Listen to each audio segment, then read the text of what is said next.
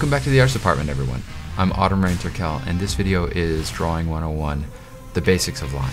This video is going to cover the fundamentals of line and give you a couple of tools that you can use to improve your lines in whatever medium you choose. So first we have to ask, what is line? Line can be defined in a couple of ways. Line can be a continuous series of dots between two points on a surface.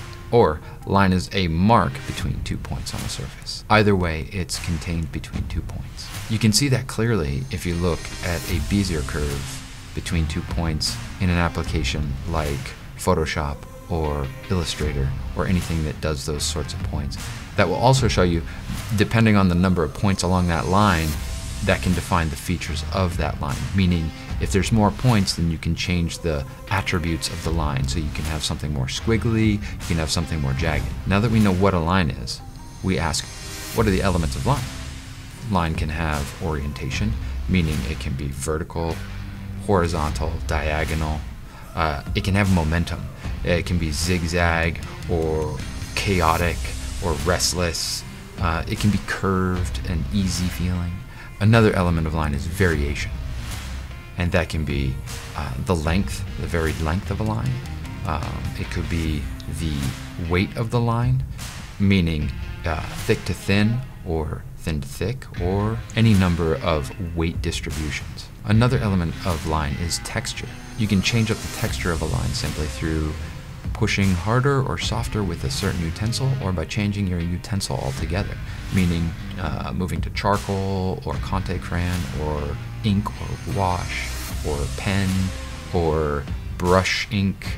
There's a number of ways to get different textures with lines. If you are in the digital realm, a way to do it is to change up the brush itself. So go from something that's completely opaque to something that has more texture to it.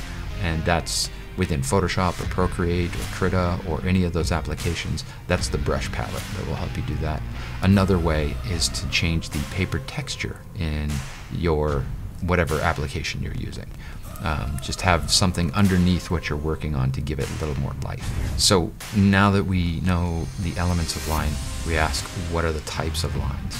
Um, lines that you can make would be contour lines, continuous line that never ends, you don't pick up your utensil when you're doing it, uh, parallel lines, meaning lines that are next to one another, and cross hatching, which is lines that intersect one another. Um, you can do decorative lines, um, meaning filigrees and stuff like that, do swirlies. Uh, you can do implied line, and that is um, lost and found type of line, where uh, it you start a line and you let the line break up and you don't show it anymore, and then you continue it elsewhere. Uh, you can do a gestural line, which is just a, a quick kind of flick of the wrist type of line. So now we know some different types of lines. Now we want to know what can line do. Uh, line is good at defining forms. So uh, the contours, the exteriors of shapes are uh, going to define your forms. Uh, you can also define form through cross contours by cutting into the shape and over the shape, and that will push it back in space. Line can be expressive in the way that it's laid down, meaning you can express emotions through the way that you're placing your marks on the paper. Um, so if you were to use uh, sharp and jagged marks versus something curved and soft. There's different feelings that come from those marks. There's aggressive feelings versus smooth and and and flowing. Um, you can be playful um, and silly, or you can be very serious and meticulous about what you're doing. Uh, like I said before, you can be aggressive or calm, or you can be meandering and kind of let the line uh, go away from what your initial form is, or you again you can be very concise and precise and make sure that you are doing something uh, almost mechanical in nature in dictating a form.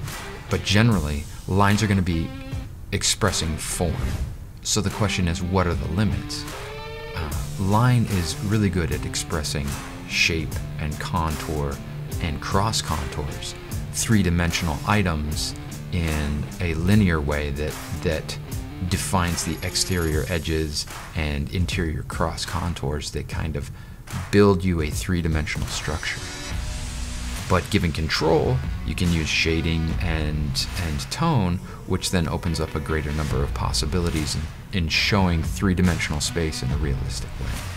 But at that point, it's it's no longer line, it's shading, or hatching, or cross-hatching. Hatching being lines right next to each other to show form, or cross-hatching meaning lines crossing one another to show both form and depth of shadow. Also, when we close off a shape, our mind naturally sees that shape, so it's no longer line. We are defining the bounds of that shape, and our mind will then see that shape. So if I draw a square or a cube, then what we see is a square or a cube. We don't see it as an individual line. So, some techniques that you can use to further some of your own understanding of line and your own expertise with line. Um, one of them is a contour drawing.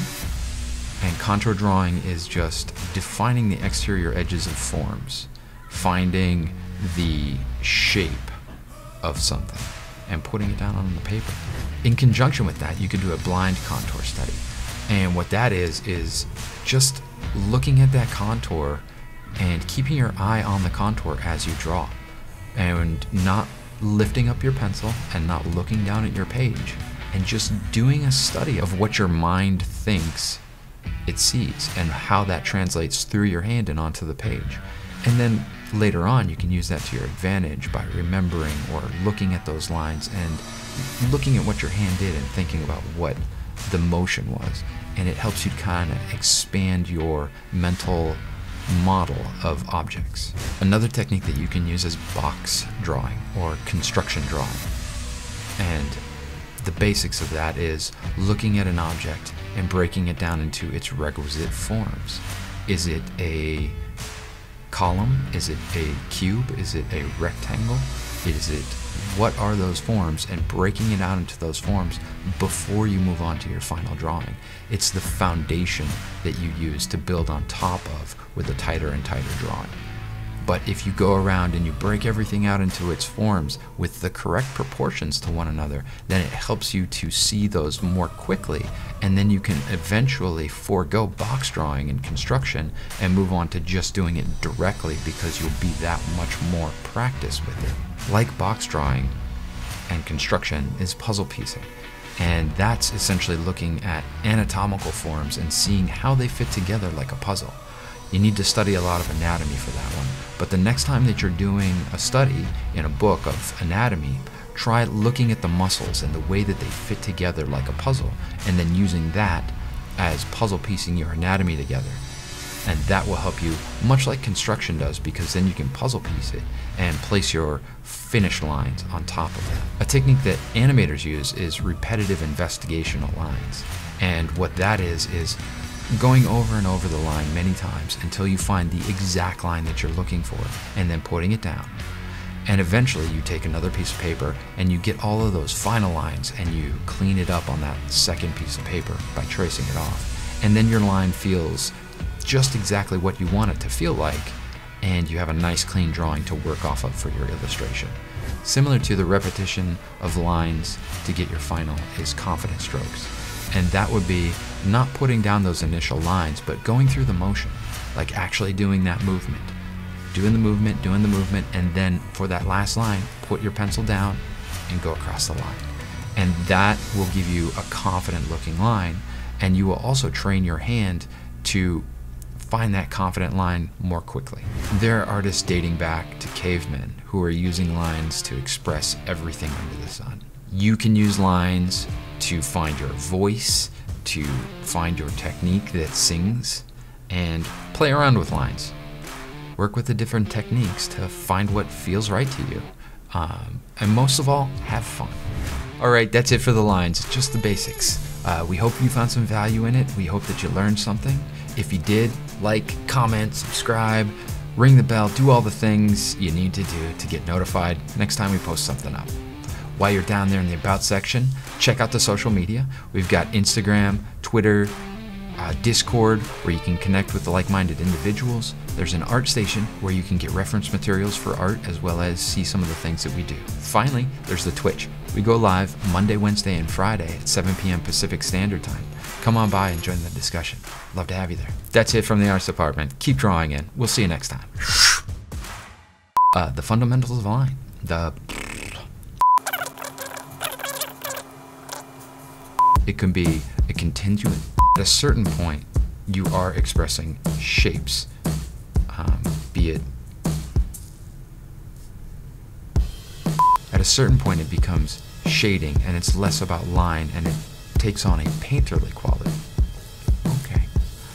Painting with a pencil or with whatever utensil you're using, um, but that's the that to show depth of both and that's when you get into positive and negative space.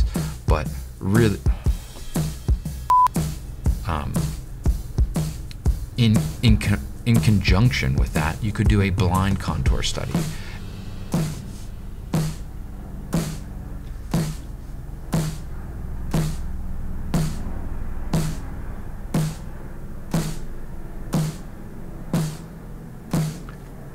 Helicopter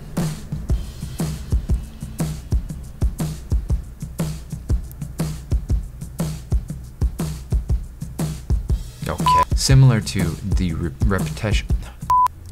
Lines of. Okay.